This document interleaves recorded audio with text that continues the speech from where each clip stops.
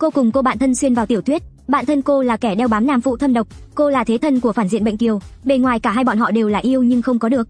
Nhưng sau lưng lại tiêu tiền như nước, cuộc sống cứ như vậy suốt 3 năm, nhân vật nữ chính thực sự trở về, khi biết nam phụ và phản diện đều si mê nữ chính, bạn thân cô mang theo một chiếc túi nhỏ, đêm khuya gõ cửa phòng cô, tớ tích đủ tiền rồi, còn cậu, tớ sắp đủ rồi, nhưng có thể tiêu tiền của cậu. Thế là bọn họ cùng nhau chết. Qua 3 năm, bạn thân cô không may tình cờ gặp lại chồng cũ, Ôn Ninh vội nói, tớ sẽ che chở cho cậu, cậu mau chạy đi. Kết quả vừa quay đầu lại, cô bị giữ chặt bởi một bộ ngực rắn chắc. Phản diện bệnh kiều ung dung tháo cả vạt, trói tay cô lại. Cô chạy được trước đã rồi nói sau. Khi Yến Thanh đột ngột trở về, thời niệm đang khoe với cô, cô ấy vừa mua chiếc nhẫn kim cương màu hồng, nhìn thấy chiếc xe đặc biệt của cố Yến Thanh, mạnh mẽ tiến vào sân. Thời niệm vội đẩy cô, cậu trốn đi một chút. Cô như một tên điên cuồng đang bị bắt, nhanh chóng trốn vào tủ quần áo. Vừa trốn xong, cô Yến Thanh đã đẩy cửa bước vào. Mới đây thời niệm còn hăng hái khoe của, lúc này đôi mắt đỏ hoe, một vẻ mặt đau khổ hơn cả chớt. Nghe thấy Cố Yến Thanh mở cửa, Thời Nhiệm cười chua chát, "Anh còn biết đường về nhà sao?" Cố Yến Thanh bước nhanh tới trước mặt Thời Nhiệm, anh cúi đầu nhìn Thời Nhiệm, "Miểu Miểu mất tích rồi, anh đã nói, Miểu Miểu chỉ là một cô gái bình thường mà anh giúp đỡ. Chuyện ân oán giữa Cố gia và Thời gia, em cứ nhắm vào anh. Đừng làm khó người không liên quan." Thời Nhiệm hiểu ra, Ôn Ninh mở to mắt, không tin nổi hỏi, "Anh nghĩ là em bắt cóc cô ta?" Cố Yến Thanh nhắm mắt lại, "Sau khi Miểu Miểu gọi cho em thì mất tích, anh không thể không nghi ngờ em." Lúc này điện thoại vang lên, Cố Yến Thanh nhận cuộc gọi, nhìn Thời Nhiệm một cái, "Được, tôi sẽ đến ngay." cô Yến Thanh quay người ra cửa, Thời nhiệm mất kiểm soát chạy tới, nắm lấy tay anh, "Yến Thanh, không phải là em làm." Đôi mắt Cố Yến Thanh lạnh lẽo như băng, "Anh sẽ điều tra, trước khi có kết quả, anh sẽ không gặp em nữa." Nước mắt Thời nhiệm rơi xuống ngay lập tức, "Ngày mai hãy đi có được không?" Mắt cô đỏ hoe, giọng nói hèn mọn, "Hôm nay là kỷ niệm ngày cưới của chúng ta, anh có thể ở lại với em một đêm không?" Cố Yến Thanh im lặng 2 giây, cuối cùng vẫn gỡ tay Thời nhiệm ra, "Xin lỗi, cảnh sát đã có manh mối về Miểu Miểu. Anh phải đi xem." Tiếng đóng cửa vang lên, Thời nhiệm thất thần hét lên, "Cố Yến Thanh, anh quay lại đây."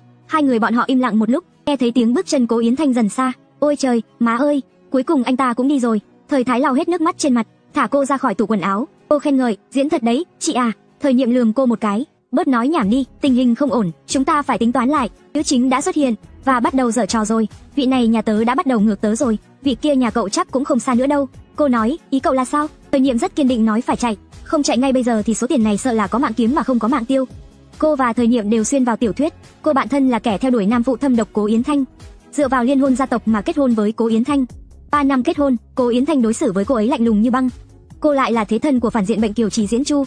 Chỉ Diễn Chu nuôi cô trong biệt thự 3 năm, chỉ vì khuôn mặt cô, tống hệt mối tình đầu của anh ta. Về thân phận của họ, thời nhiệm và cô đều không có gì bất mãn. Dù sao Cố gia xuất thân từ chính trị, bối cảnh thâm sâu, không ai dám đắc tội, còn Chỉ Diễn Chu thì chơi sạch cả hai bên hắc bạch. Bất chấp thủ đoạn, là kẻ điên mà ai cũng sợ. Muốn nói có đặc điểm gì chung, thì chính là có tiền, rất nhiều tiền. Ba năm nay cô và thời nhiệm vừa diện yêu mà không được đau lòng chớt đi sống lại, vừa lén tiêu tiền sướng như tiên. Nhưng bây giờ tình thế khác rồi, nữ chính Hạ Miểu Miểu trở về. Theo cốt truyện, chồng của thời nhiệm, Cố Yến Thanh là người bảo vệ trung thành nhất của Hạ Miểu Miểu, còn bạn trai của cô, chỉ diễn Chu thì càng không cần nói. Hạ Miểu Miểu là ánh trăng sáng của anh ta, anh ta sẵn sàng vì Hạ Miểu Miểu giết thần giết Phật, dùng mạng của mình để Hạ Miểu Miểu được hạnh phúc. Bây giờ nếu cậu không chạy thì không kịp nữa rồi. Thời nhiệm nói, Hạ Miểu Miểu không phải là đèn cạn dầu, cô ta cố ý gọi điện cho tớ, rồi chơi trò mất tích, để cô Yến Thanh nghĩ rằng tớ bắt cóc cô ta.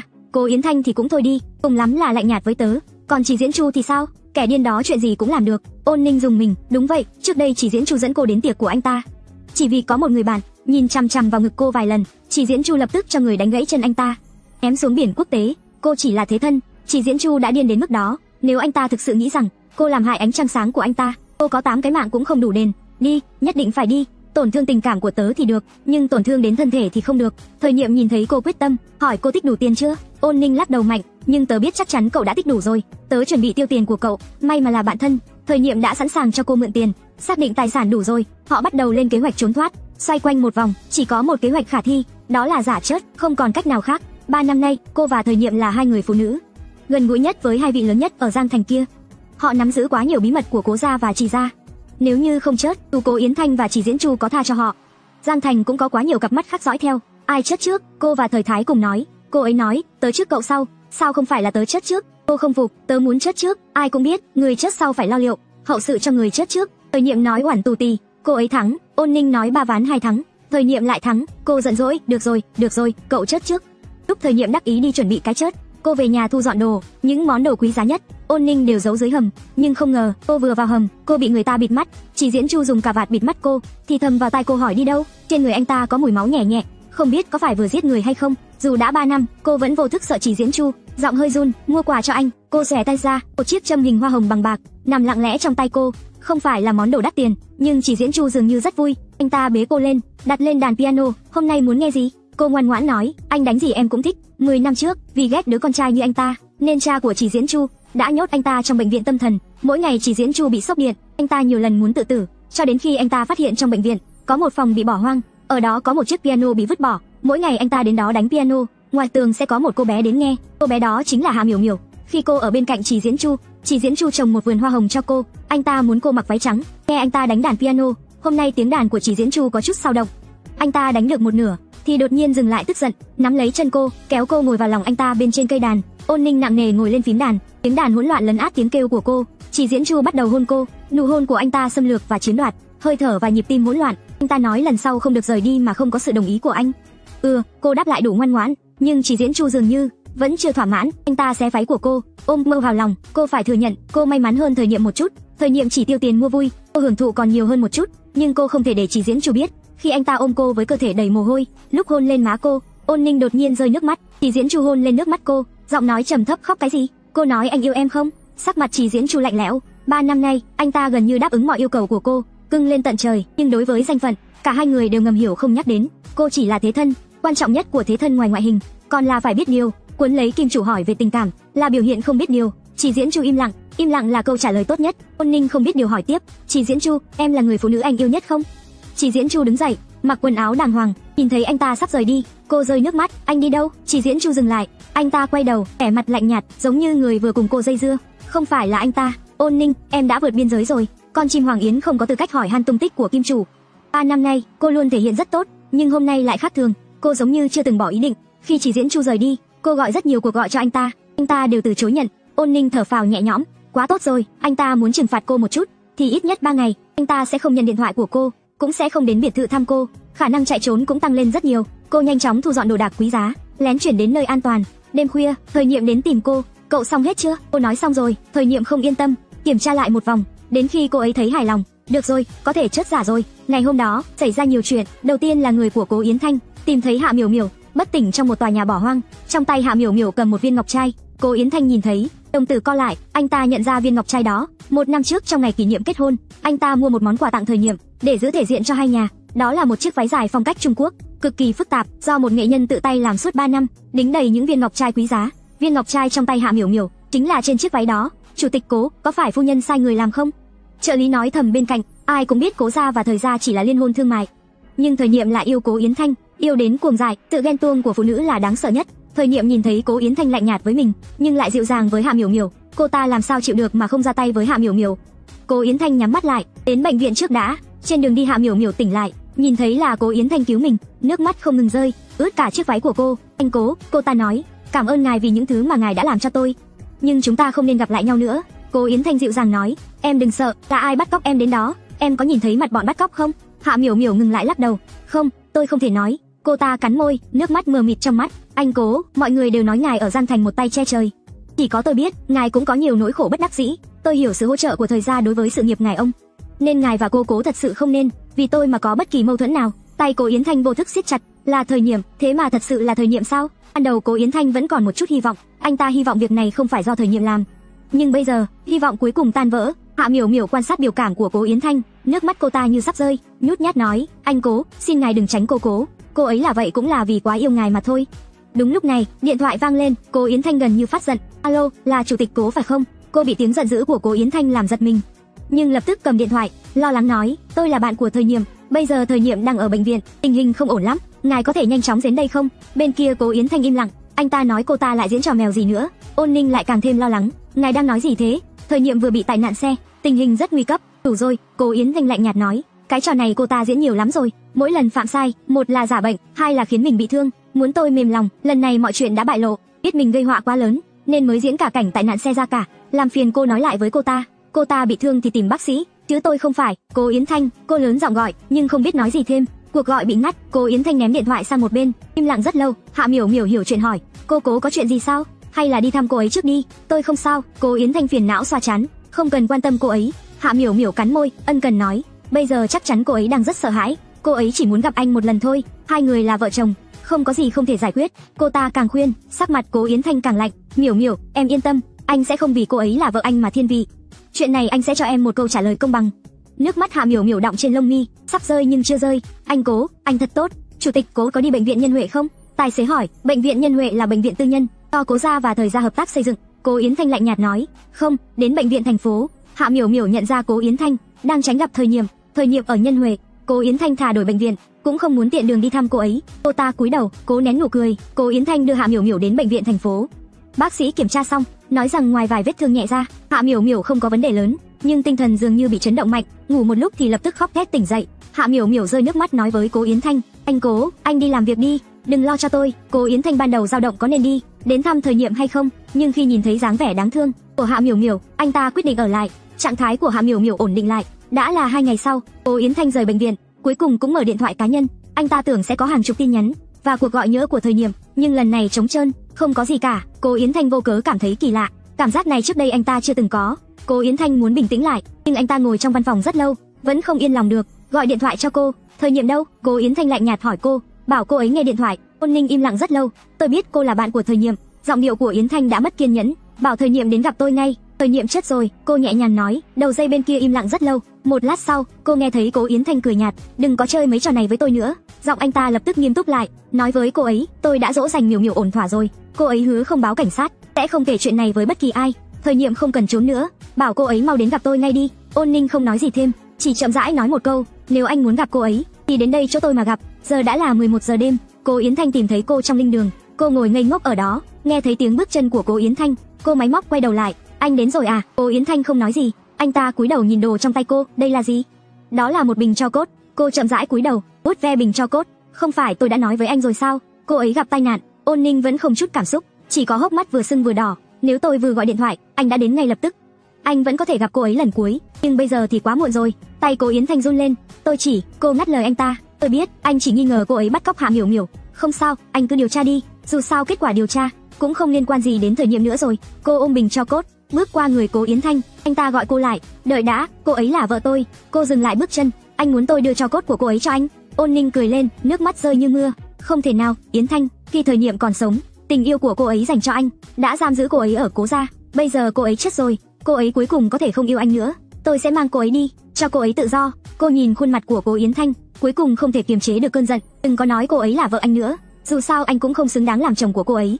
Cô mang theo bình cho cốt rời đi, không thể đưa cho cố Yến Thanh, vì bên trong chỉ có mấy hộp phấn trang điểm, mà thời nhiệm qua loa, lấy từ bàn trang điểm, là cô vội vàng tìm trên mạng, nói với thời nhiệm cho cốt không phải dạng bột, cô mới vội vàng tìm một ít xương nhỏ, trong thức ăn thừa để bỏ vào. Ôn Ninh đến bờ sông, rắc phấn trang điểm và xương vào sông, thời nhiệm, cậu tự do rồi. Cô nghẹn ngào nói, cô biết cố Yến Thanh đang nhìn bóng lưng mình, rắc xong cho cốt, cô lên xe rời đi. Đương nhiên, cô không thèm quay lại nhìn Yến Thanh lấy một lần. Tính toán thời gian, chỉ diễn Chu cũng nên tìm cô rồi. Anh ta phạt cô ba ngày, bây giờ gần hết thời hạn, nhưng chỉ diễn Chu không tìm cô, Cô biết là vì Hạ Miểu Miểu đã đến tìm anh ta.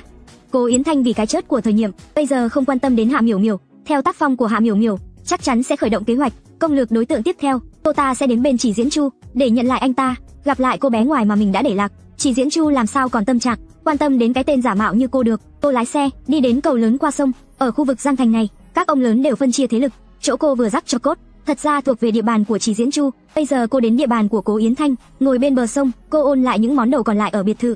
Chiếc châm hoa hồng bằng bạc là món quà cuối cùng cô tặng Chỉ Diễn Chu. Tư Tuyệt Mệnh nói với Chỉ Diễn Chu rằng cô yêu anh ta. Giấy chẩn đoán trầm cảm giả, cho biết nguyên nhân cái chết. Ôn lại xong, cô gọi cho Chỉ Diễn Chu. Anh ta nhận cuộc gọi, có chút say rượu, bên cạnh còn có giọng phụ nữ bất mãn hờn dỗi. A Diễn, ai vậy? Ta Hạ Miểu Miểu. Cô lờ đi giọng của Hạ Miểu Miểu, bình tĩnh bắt đầu màn diễn của mình. Chỉ Diễn Chu, anh yên tâm, em gọi cuộc điện thoại này không phải để quấn lấy anh, em chỉ muốn nói một lời cảm ơn.